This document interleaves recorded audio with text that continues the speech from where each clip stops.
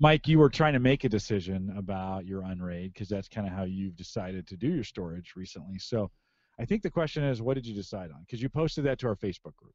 Yeah, so it wasn't actually recently. It's back when Windows Home Server version one.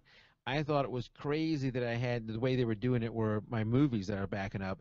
I basically had to copy them twice because I didn't like the way version version one did it, where the way it was doing it was everything was just double if you wanted to, to back it, you know, have it re- saved or whatever. So if I'm backing up all these movies and I had to do that, I wanted some other solution where I didn't have to have double copies, but yet I had protection. What Unraid does is it, it I don't know how you would translate this into a what RAID version it is, but it's got one parity drive. So maybe this is RAID three or something like that. One parity drive that protects the entire array. So I have um, gosh, how many drives do I have in it? 13 drives in this in this RAID, uh, including including the no, that's 13 drives. Yeah, 13 drives, a parity, and a cache. So that's 15 drives total in this in this um, computer. The one drive, the one parity drive, protects all the the storage drives. If I lose the parity drive, I still the, the, the data drive is still good. If I lose one data drive, it's protected because of the parity. If I lose more than one drive because of the way they do it, it's not stripped. I only lose the data on the drives I lost. So it's it's um, a pretty good system, and it runs off a USB stick, which sounds crazy, but uh, it only reads a USB stick at boot up, and if you make some settings in the changing file, so it's not writing a lot or reading from a lot on the on the USB stick.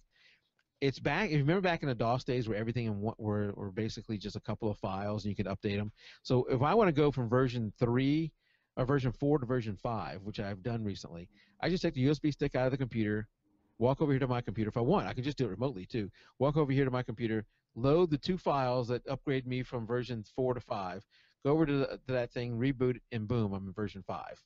I've changed the hardware twice, no problem. So this thing just runs rock solid. And it's been running since version 1, rock mm. solid. With all those drives, I've lost a drive here or there, but the data just runs. The problem I have with it is that it is, is can be slow. You know, you're not get even with a cache drive in there, which when the cache drive you write to that that unprotected uh, cache drive first, and then it goes out to the um, to the parity later on based upon your schedule.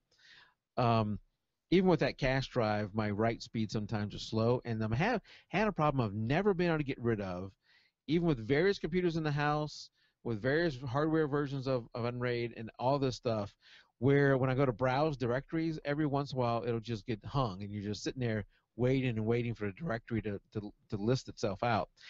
And I don't know what it is because I can at the same time I can go on another computer and pull up a direct that same directory. So it's almost like that one computer got paused, but I can repeat this over and over again on any computer in the house. Um, and a number of people have mentioned it. So there's a few issues like that where I've got it used now. It is my my secondary backup. I have a SyncToy program running on my my main server and just backs up to this thing um, whenever I want to, and it uh, have it backing up um, data that I don't really care to, to protect and put out on CrashPlan, maybe like movies and that kind of stuff that I don't really care that much about. It has uh, 20, I think I got 21 terabyte of storage in it right now, something like that. It's, it's, it's pretty big. That's in the Norco box? It's in a Norco wow. 4020 box, yeah. You said 21 terabytes of storage in there? 21 terabyte, yeah. I need to be where you are. Can be, yeah, it can be done. I mean, that is awesome. Have you seen that? Have you seen that Norco box? It's. I, I, haven't seen it. No. It's huge. Yeah, it's a big box. I mean, it's, it's loud got, crap too. Yeah, you've got it's got is what it? uh, 20 different drive bays. 20 wow. and then one internal, so it's got actually 21 drive 21 bays. 21 drive bays. That's and, a lot. Uh, wow. Yeah, you can load up. You can load that bad boy up. It's loud. Yeah, it's loud. I'm gonna screen the fans running. And I'm sure. It, I'm sure it's hot and you know around it, right? Hold on, Mike. Let me let me put you. It's not, it's not too focus. hot because it, you know the drives the drives sit uh, right in front of all these fans. Crunch that down a little bit so that it'll get or go into your browser settings and see if you can up the resol up the percentage a little bit so we can see that. There we go. Yeah, a little bit more. Keep going. Oh, want another one? Yeah, go, hold on. Do, do it until I say stop. Keep going. All right, stop there. Okay. Yeah, so here here you can see all of them. You can see the temperatures. Yeah, that's um, not that um, hot. Yeah, so actually, this is that's Celsius, of course. Mm. Uh, obviously. oh yeah, definitely. Uh, yeah. So I, I have array of 14 disks, including including parity, and, and that must also be including the. Uh, no, it's not including the cache. 13 drives in the in the array, 21.5 terabytes. And see, I could, I could, a lot, I still have some one terabytes and one and a half terabyte drives in there, so I could make this even more.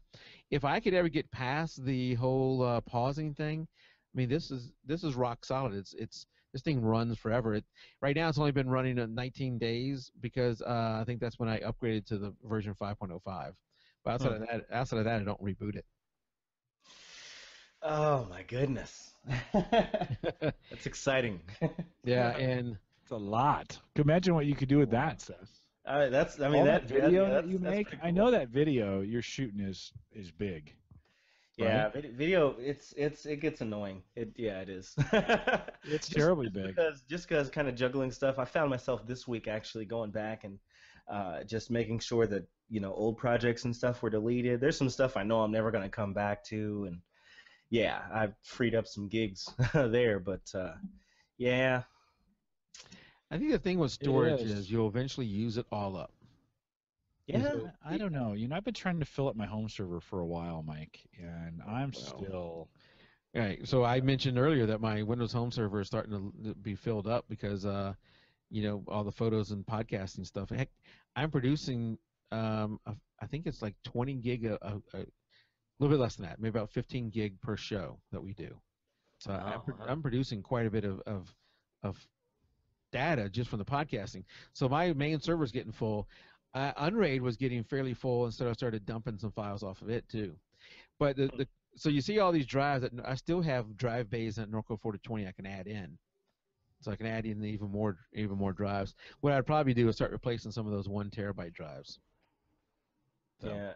Wow. But so you know, Kev- the, oh, go ahead. the the cool thing you're seeing there is they're not all the same drive size. The parity does need to be equal to or larger than the largest drive in the parity. So my largest drive in this whole thing is two terabyte. So my parity drive has to be at least two terabyte because it's protecting the entire array. Hmm. It's pretty cool.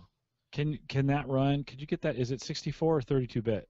Doesn't matter. Yeah, it's 32 bit right now. It's 32 bit, so it would run on a uh, EX47. Yeah, and I think I think uh, the it has when you go to buy this, there's there's I think three. If when I bought it, there were three different plans. I think the first one is like a three or four drive plan, which was free.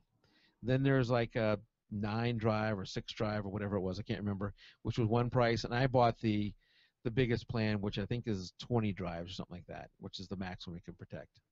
So Ken, you might want to check that out. Uh, Ken was asking about that if it would run on an EX47.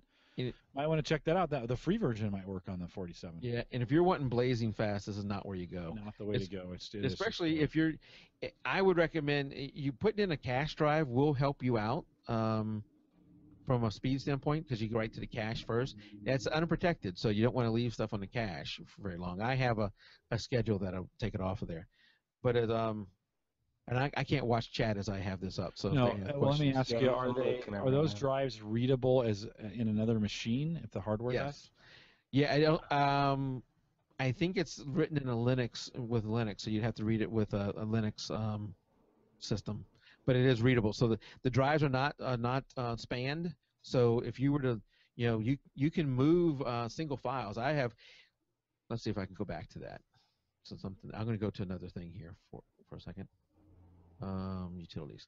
I have had drives where they fill up. There's ways you can tell it like low watermark where it's going to tell it to put um, I'm not seeing what I wanted to see there. Settings, maybe. Where you can tell it, put the files in the drive with the most amount of space. But because I've added drives at different times, some drives have gotten full, more full than others. Yeah, I'm not finding what I want to find here. Uh, so I've manually moved some because you can log in and I can see the shares, and I can also see the um,